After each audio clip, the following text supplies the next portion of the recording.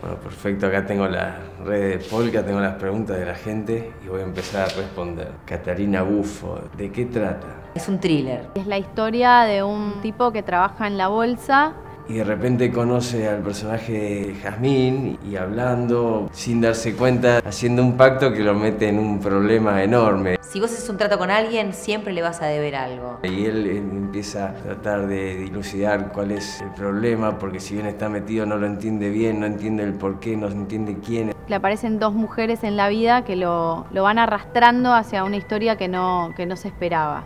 Entonces, ¿cuál es tu parte del trato que te toca jugar después? El personaje no, no tiene idea bien de quién, quién está hablando todo el tiempo. Milanesa. ¿Se sienten identificados con sus personajes? No. no, yo no. Para mí sería difícil eh, sentirme identificada con mi personaje porque está muy loca, mucho más que yo. Pero por otro lado es muy combativa y sobre todo cuando quiere a alguien lo defiende. No, Carlos es un hacker, está muy al tanto de lo que es la tecnología. Yo de pedo puedo tener este teléfono Macarena Troncoso 24. Es para toda la familia y... No sé cuál será el límite, pero creo que será de 12 para arriba, 16 para arriba. No, no creo que sea para toda la familia. Yo creo que hay escenas que tal vez no sería apropiado que vean los niños, porque hay toda una trama que tiene que ver con la pasión y también hay una carga de violencia bastante importante por momentos. Mm, mm, mm. No sé si es para toda la familia. Jazmín Sajewicz perdón si lo pronuncio mal, cómo van a ser sus personajes. Bueno, Carlos es un hacker, un tipo muy metido para adentro, que no se relaciona mucho con la gente, es un pibe que la mayoría de sus relaciones fueron detrás de una, de una pantalla y le cuesta mucho interactuar con, con, las personas y de repente de su vida surge un cambio y, y con eso surge un cambio un poco en su personalidad. Mi personaje un poco ya lo describí, es sensible, vulnerable y al mismo tiempo muy fuerte tan graciosa como aterradora. Te puedo contar una parte del personaje nada más, es María Cortés, es una mujer eh, muy sensible, muy solidaria. Rocío Fonsi, ¿cómo es la experiencia de hacer una nueva ficción?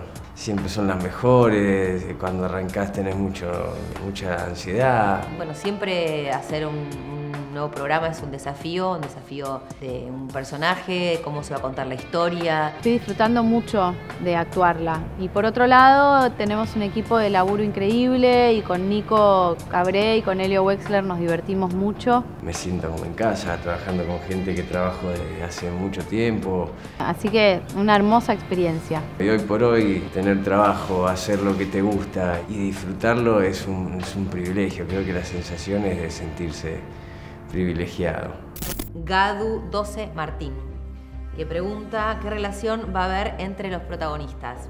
Mi personaje es María, María Cortés, estoy cansada con Fernando, que es Fede Olivera, a Carlos, que es Nico Cabré, no lo conozco. El personaje mío, Carlos, está involucrado en un problema, está en el medio de un, lío. Y Patricia, que es Jasmine Stuart, no puedo contarte. Hay una trama entre los dos personajes femeninos, el de Elio Wexler y el mío, y en paralelo el personaje de Nico Cabré queda como atrapado en esa dinámica. Y él justamente no, no entiende bien cuál es la relación con una y cuál es la relación con otra. Él está todo el tiempo tratando de averiguar a ver quién es quién. Anus 03, ¿habrá mucho misterio o será una comedia? No, no, no, misterio. Misterio es un thriller psicológico.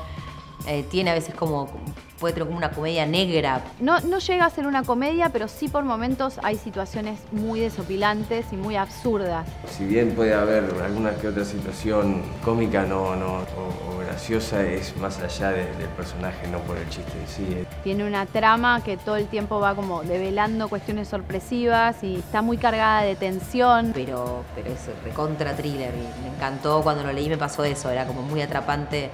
Eh, querías seguir viendo qué era lo que pasaba. Ojalá a ustedes les pase lo mismo. Lu Guadalupe 94 pregunta qué temas aborda. Esto lo, lo vas a explicar muy bien Eleonora. Que se la pasamos a Eleonora.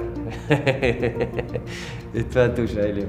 ¿Quién es quién? ¿No? ¿Qué posibilidades hay de mostrarse realmente o no? Y a partir de qué juego juega también cada uno dentro del thriller. Creo que habla de, amor, de pasión, de venganza.